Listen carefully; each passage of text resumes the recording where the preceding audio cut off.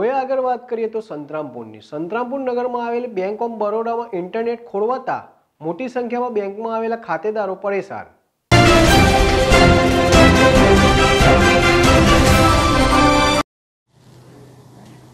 સરકાર રાષ્ટ્રીયકૃત બેંકોને ઊંચો દરજ્જો આપવામાં આવશે તેવું જણાવી નાની બેંકોને મોટી બેંકમાં મેળવી દીધી છે.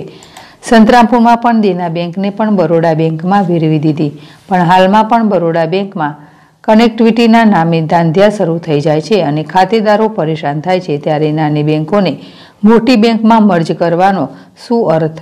કોઈ વાર એટીએમમાં પણ લાઇટો બંધ રહે છે. વારંવાર રજૂઆતો કરવા છતાં પરિણામો શૂન્ય આવે છે. ત્યારે પ્રજાને પારાવાર મુશ્કેલી વેઠવી પડે.